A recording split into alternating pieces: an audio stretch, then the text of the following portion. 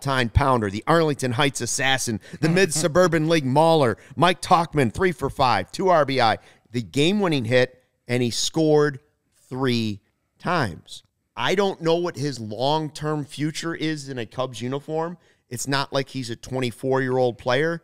All I know is if you're trying to win this season and somehow get this division and get into the postseason, Tauchman needs to be playing.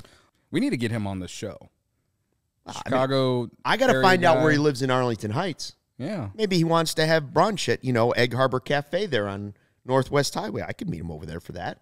Have a little lunch, some, you know, cinnamon roll pancakes before Can he I- goes to the ballpark. Can I go?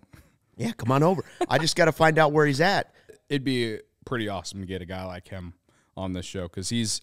I think he's becoming. dig into that. He's becoming a fan favorite